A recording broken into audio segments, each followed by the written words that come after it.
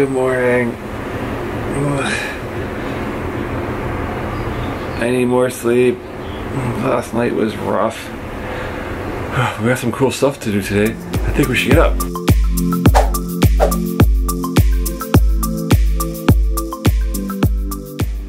Better get a move on.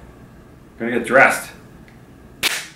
Wow, last night's really screwing us. We are extremely uh, tired today and uh, getting a slow start.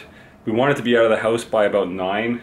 I think it's a bit past 9.30 now, so I guess not too, too bad, but uh, still got a few things here to pack up and then we're gonna be on our way.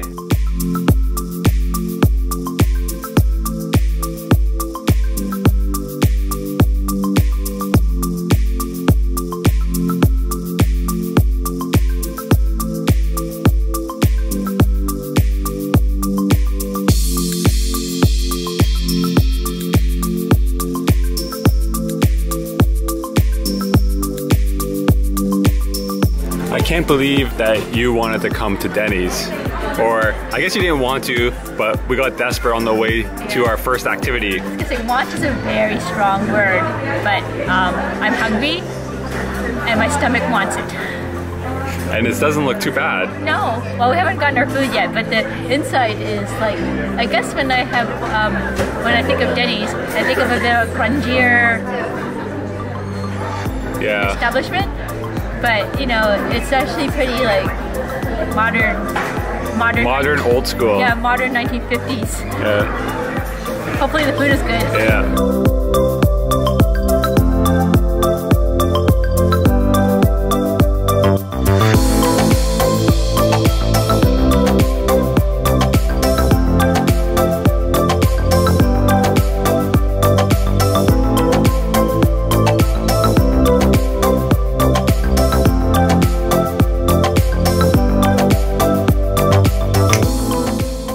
Breakfast is done. We went to Denny's. Oh.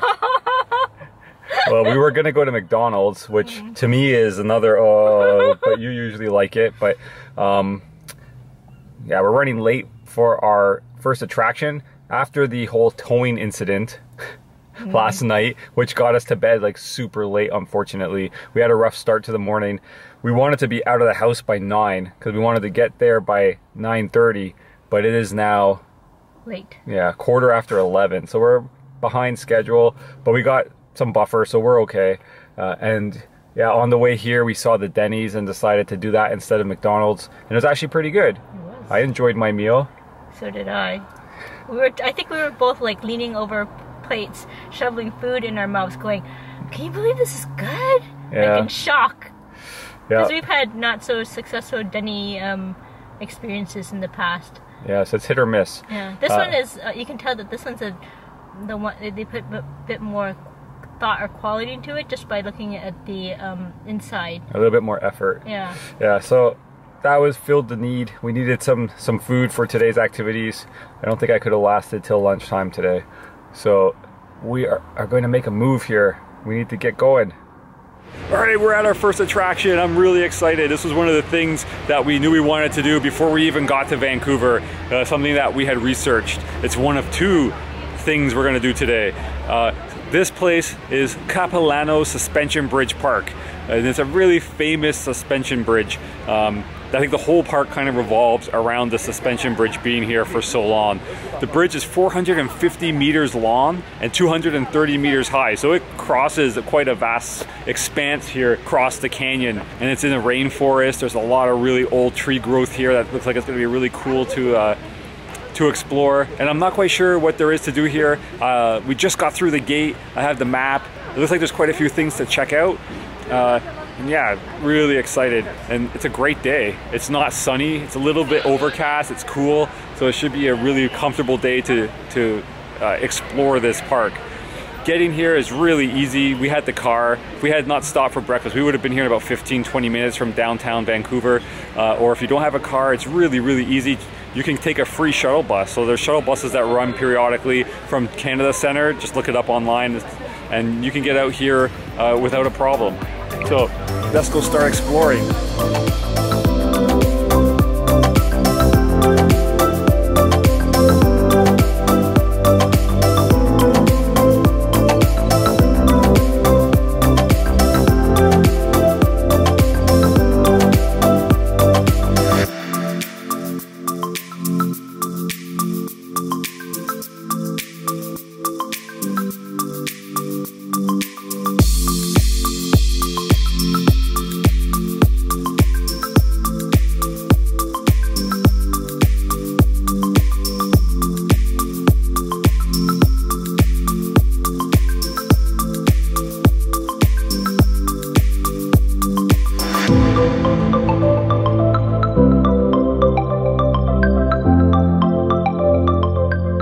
First stop along the way to the bridge is this sort of like totem pole park. Um, it's a little area where there's a whole ton of different totem poles, uh, like the short ones about my height, and then there's really, really tall ones as you as you would kind of envision of a totem pole. My favorite one is this really tall one. At the top it has a, a, raven carved in. I believe it's a raven. It has like that traditional kind of beak that I associate with totem poles. And I just I just love staring at it. I just love staring at all of them actually. They're all really interesting and uh, varied designs and the faces, they're grimacing. So I can kind of see the bridge peering through the trees over here, just past the totem poles. So we're gonna make our way over there and just see how rickety it actually is. Are you ready? Are you gonna be suspended up?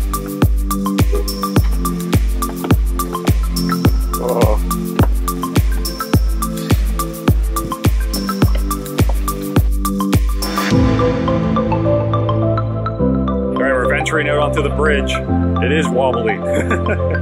it's really quite wobbly. All right, we're out on the bridge. We're about halfway and it is extremely wobbly. Uh, this is a really good test for the stabilization on the camera.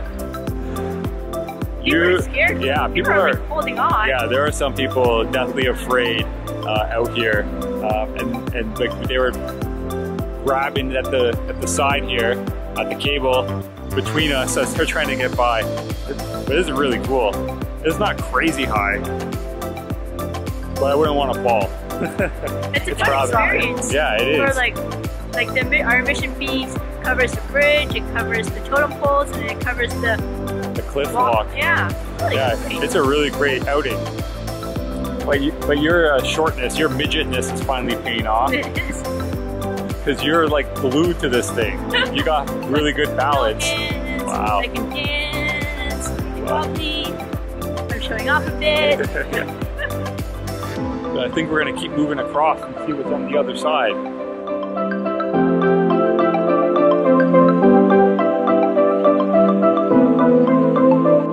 Alright, we're almost to the other side now. Starting to get a little bit more stable maybe not. wow, it really sways. We survived the suspension bridge. Well, we still have to go back over it. So hopefully we'll survive that as well. But now we're heading to something called the Treetop Adventure. And there's seven uh, mini suspension bridges, I guess, going from tree to tree right above us right now. It's supposed to give you an interesting view of the rainforest up in the trees. A squirrel's eye view, they call it. Are you uh, looking forward to being a squirrel? Yes, I am very much looking forward to being a squirrel and I don't look guilty because I was playing Pokemon in this beautiful setting. Why are you shaking your head at me and said I wasn't? You're a disgrace. No.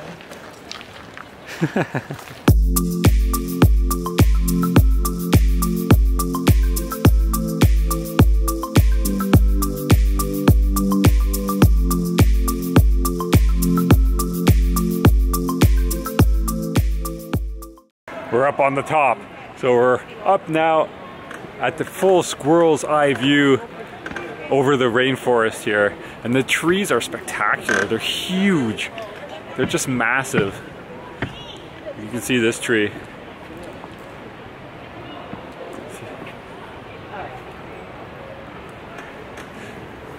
And all of these platforms are attached to the trees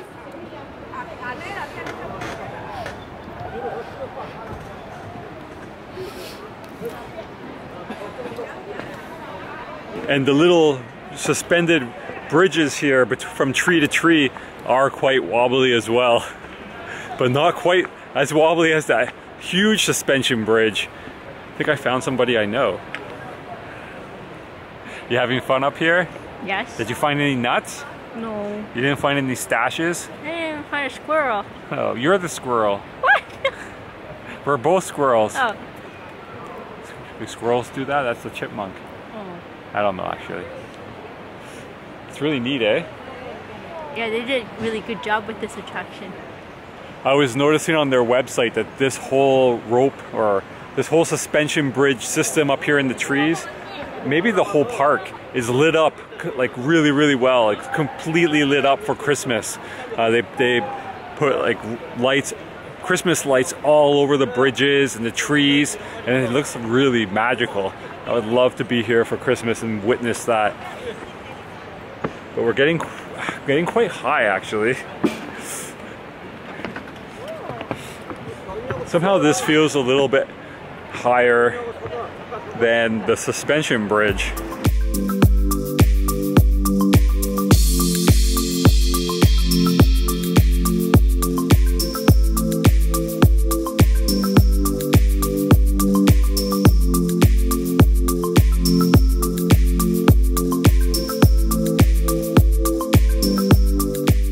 Just reading on a sign over here that these massive trees, it can take up to 36 hours for the tree to, to move water from its root up to its canopy. That's, that's crazy. Isn't that crazy? Very crazy. I was doing the illustration behind you. Oh, I thought. From roots to the canopy. Our life as squirrels has come to an end. We're at the end of the treetop adventure here. That was really neat. A lot of people, but really cool. Uh, the trees, I keep, keep being blown away by these trees. There's two massive trees right here of varying species, I believe. There's this one with the really sort of deep, deep bark. And there's this one, this one here with much more of like a, it's a cedar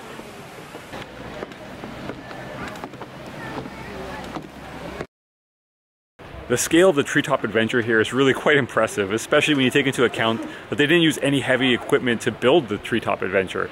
Uh, they used old-fashioned methods like pulleys and ropes, and they didn't fasten this stuff to the trees using nuts or bolts or nails or anything that would permanently damage the trees. And they did it on purpose because they didn't want to ruin the ecosystem here in the rainforest. So what they had to do was use specially designed metal collars that they put around the trees that evenly distributed the pressure and those can be removed and the tree will be happy happy and perfectly fine afterwards. But apparently that's good for the trees because it's like exercise for them. It helps make them stronger. So that's really cool especially like I'm standing under them and they're like really high and they look very heavy. So someone put some muscle into building these things.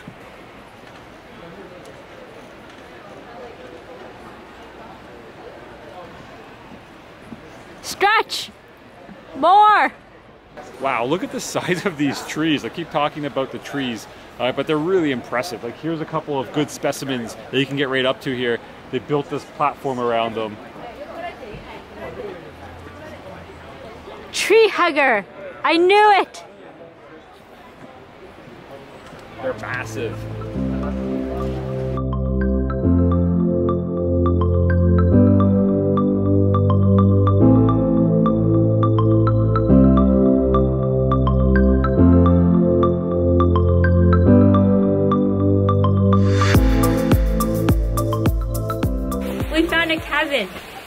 We did.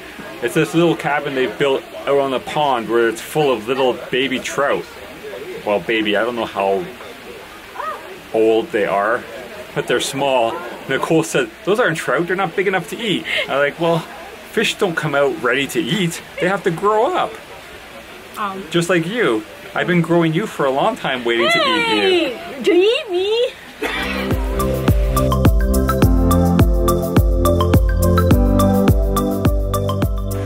On nature's edge now, which is uh, the opposite spectrum of the treetop. We're down in the rainforest on a boardwalk that takes you in and among all of the trees and along the edge of the uh, valley or cliff down into Capilano River. And we're going to find the infamous fallen tree and learn about that. It sounds ominous.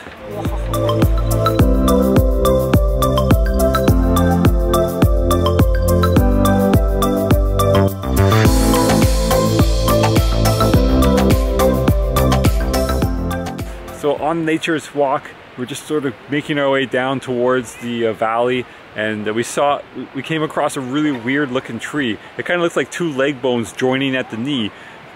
I wonder what happened to it, what the story is on that thing. What do you think about that thing? I think it's nifty looking. I also think it's cold. Nifty looking. What does that mean? It's nifty. Oh, looking. nifty. You just try speaking with these Invisaligns. I am actually. Oh dear. It's also much colder down here at the bottom of the trees than at the top.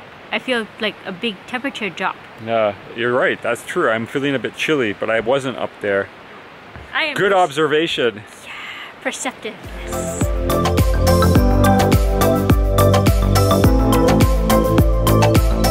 We were commenting on how the temperature dropped. Well, feels like it's dropped significantly once we got off the top, like the uh, treetop adventuring down here on this boardwalk. And we found a sign that explains that maybe. It says here that if you plant trees around your house, it can help reduce summer temperatures by 10 degrees. In, in addition to providing shade, the, the leaves on the tree release moisture, which helps cool the air. So these trees are releasing moisture, cooling the air.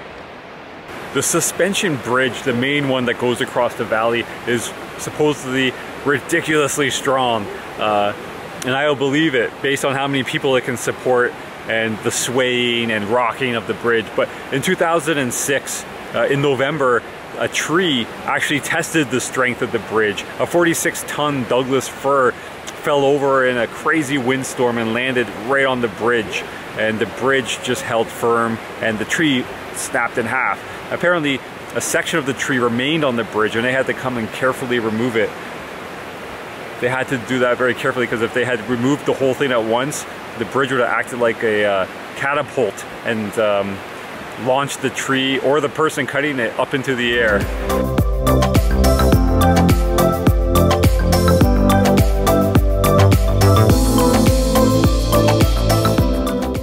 How big do you think my wingspan's gonna be? Mm, pigeon.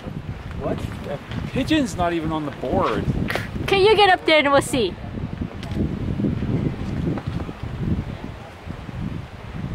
How big am I? Pterodactyl? That's, not on the board either. Aw, wah wah wah. How big are you? I think I'm about a Canada goose. No eagle for you? No. Okay, I think I'm an eagle. Let's check for me. I think you're a hummingbird. Okay, I think I'm an eagle. How can you be an eagle if I wasn't an eagle? What I make up in size, what I lack in size, I make up in belief. Six. No, you might be a great horned owl. Yeah.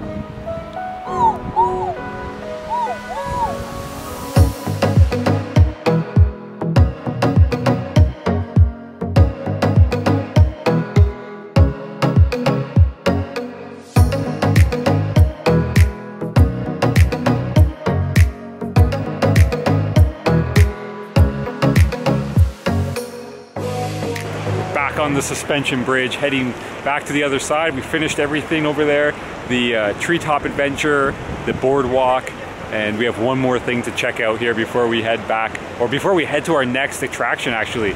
It's three o'clock, um, so we'll probably be out of here another half an hour, and then we have uh, to do our next attraction, which is not really an attraction. You'll see what I mean. But this the suspension bridge is amazing. It has the strength to hold two fully loaded 747s, which makes me feel pretty confident when I'm standing out in the middle of it here. I'm just waiting for Nicole. She's trying to catch up. She was over on that platform. There she is. So that I could come out here and she could take some pictures of me, as she's going to do right now. Our last activity here at Capilano Park is the cliff walk.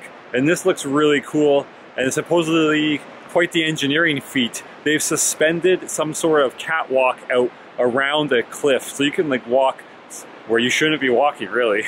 I guess just like the suspension bridge, but this is looking pretty cool. Could see it from the suspension bridge. And it's a series of sort of spiral staircases as you can see behind me. And uh, look at this one. These narrow staircases heading down to the cliff walk.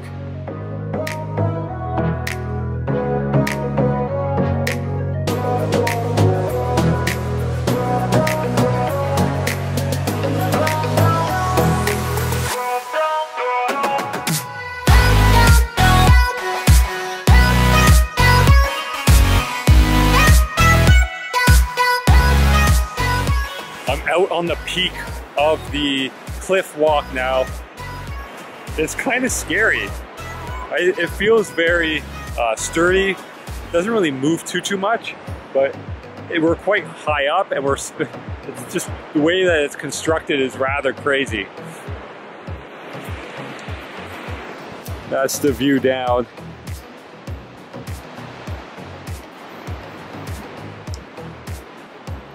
And there's the cable system holding this up.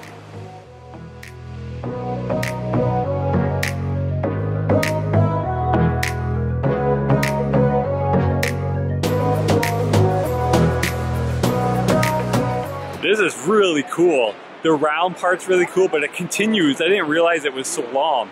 And you were walking right along the cliff here with an uh, amazing drop below us. Neat views. Here's a neat view. A little waterfall. We've been having such a great time here. Def definitely recommend coming to check this out. I'll put more details down below. Um, you, we might disappear for a little bit because this is our last battery and it's blinking that it's done. So uh, we'll eventually get a new battery in here and uh, we'll show you where we're at. We'll probably be at our next location, our next attraction. This is a scary spot. Not really. Oh, people want to go. There's a really neat demonstration of the power of water here in terms of erosion. Never really knew that it could do this much damage, but here, take a quick look before this battery is completely exhausted. There's 15 years of erosion, 25 years of erosion, 50 years of erosion.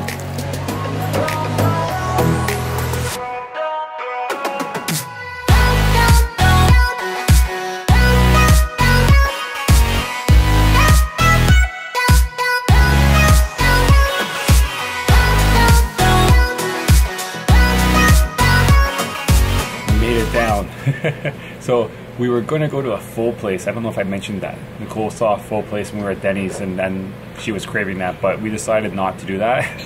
we came to a sushi restaurant instead, and this one, Zen Sushi, was actually recommended to us by our Airbnb host. He said this place was a really good place to uh, come for some food, especially after the activities that we're planning today. So it's not going to be celebratory as he was thinking. This is going to be powering us through the next activity and uh, managed to jerry rig up some power for the camera charging batteries got the camera hooked up directly to an external battery pack so I, I can do a bit of filming.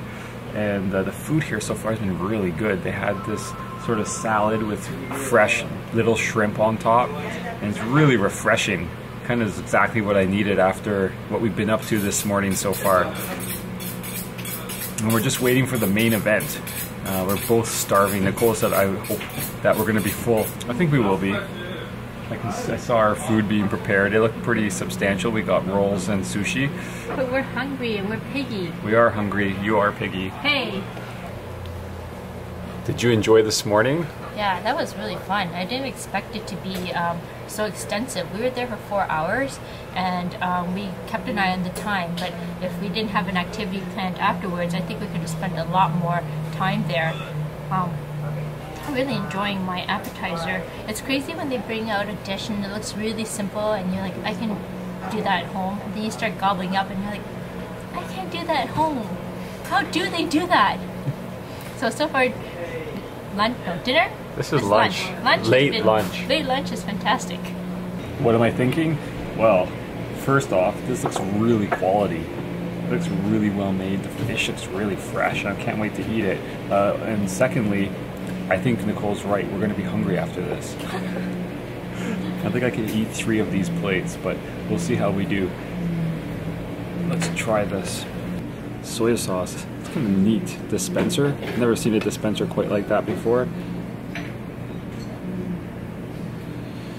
So I got a dynamite roll, which has a tempura shrimp inside, along with looks like some avocado and some uh, su zucchini, cucumber, and fish egg.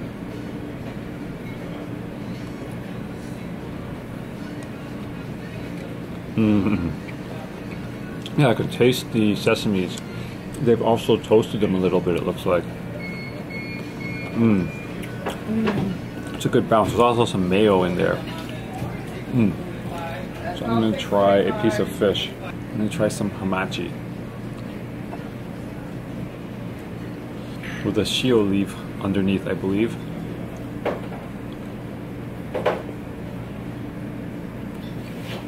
Mmm. The shio leaf's amazing. Really? It complements the f- fish really well. Shio leaf, it kind of has a citrusy sort of note to it. Pretty sure that was shio.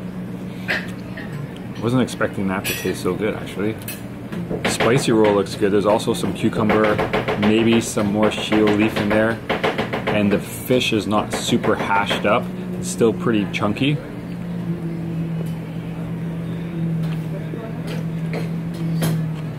Mmm. It's like perfectly balanced. Mm-hmm.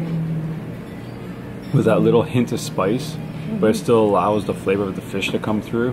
And the cucumber's a nice addition to that. Yeah, this place is great. Our Airbnb host did not send us astray. Yeah, let's devour this, as I think we're going to do, and then get on to the next, uh, our next activity, our second activity for the day. The chef sent us over a little treat. It looks amazing. It's it's wild sockeye salmon, and it looks like it's kind of like a spicy, spicy uh, sauce on it, and uh, on a little bit of rice, but also on a chip. I think they call this uh, fish and chip. The waitress said when she brought it over. That was really nice of him. Let's try it without making a mess. I don't think so, but. Hold on, this.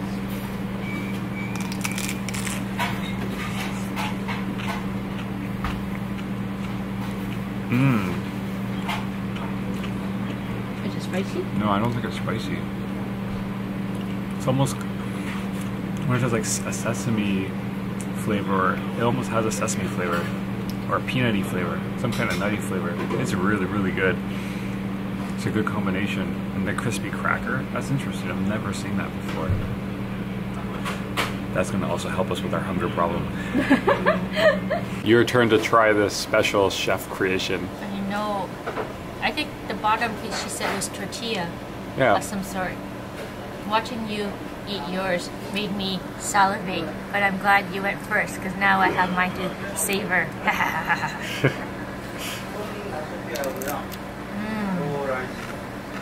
Sesame. Yeah, sesame. First of all, my mouth is very, very happy. Second of all, it has a really unique taste.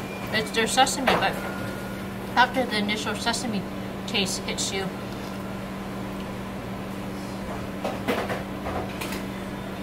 it's sweet. It's really, really good. I can't place it, but I'm enjoying it immensely. Thank you. Yeah, it's really good, eh? We got lucky. Yeah. We've just wrapped up lunch. Well, actually, I wrapped up lunch about five minutes ago. Nicole just wrapped up lunch. And this place is fantastic. I mean, we've had a lot of really good sushi in Vancouver. Pretty much everywhere we've been, the sushi has been really high quality. I guess because of the, the fresh fish here. But this place has been a step above. It's really, really good. Zen, Zen Sushi. I'll put the information in the description box below. Um, but yeah, this is a step above, eh? It comes with a bit of a step up in price, but I think it is well worth it. It's really well prepared. The fish is really fresh. It's just the rolls. The rolls were incredible. I think my favorite piece was the piece of hamachi with the uh, leaf. I think a shio leaf, some kind of leaf. It was a really interesting pairing. Really good, like interesting in the good way, not in the bad way. Uh, really, really tasty. Uh, they complemented each other extremely well, and I've never seen that before ever. I think Nicole's still chewing. So let's ask her what she thinks. Nicole wants more. Nicole wants a lot more. um, yeah, my favorite. I agree with Mike. My favorite is the hamachi. Um, I kind of expected all the fish to be good. Um, Mike's dynamite roll, that the tempura and that was wow. It was so crispy and the shrimp flavor really came through. And what I think surprised me the most was the um, shrimp salad that we got in the beginning. I forgot about the shrimp Yeah, salad. when it came, it looked so simple, and I was like, meh. I wasn't expecting anything, and then we take the first bite and it's just like a, cleanses your entire like mouth. Like a, it's like a shower for your mouth, a good shower. It was delicious. So we're gonna wrap up here and uh, get a move on. I think we'll be at our next next spot in a good 20 minutes, five o'clock, like several hours behind schedule. We're at our next activity for the day, uh, and it's a bit of a fail.